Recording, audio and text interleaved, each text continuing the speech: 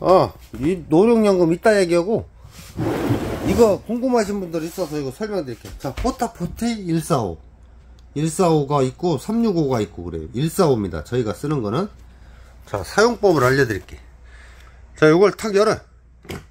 탁 열어. 여기다가 싸. 여기다가 실컷 싸고, 싸시잖아요? 이걸 눌러. 요쪽에 있는 거를. 365는 뽐뿌로, 막대 뽐뿌로 돼 있어요. 145는 요걸로 돼 있고. 여기다가 약을 넣는 거, 약. 자, 이렇게. 이렇게 누르면,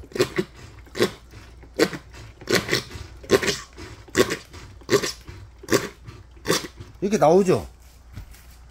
이게 나와. 그러면 나오면은 이제 버려야 될 거 아니야. 집에 가서. 자, 그러면은, 쌌으니까 이걸 닫아야 돼. 이거. 이걸 닫어. 턱 닫았죠. 다시 뒤로 와. 뒤로 오시면 여기에 코가 있어요. 코. 요걸 살짝 당겨. 요렇게 나이넌 쪽으로 살짝 당기고 들어 그대로. 그대로 드는 거예요. 그대로 들어서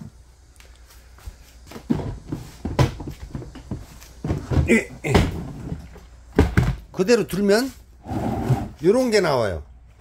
요거 요거를 요렇게 틀어서 여기를 풀러서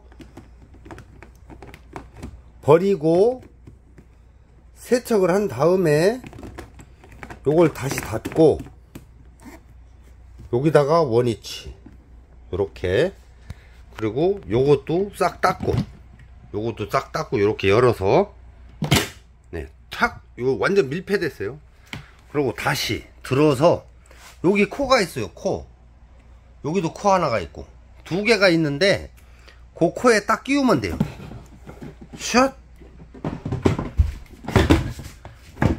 자, 앞에, 앞에 이렇게 딱 꼈죠? 앞에. 뒤에 살짝 떠 있어. 그죠? 탁 눌러. 이렇게. 그럼 끝난 겨.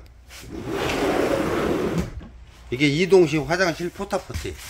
145. 145가 좀 작아요. 우리 여성분들 긴급용으로는 쓰기 좋아요. 이상 끝!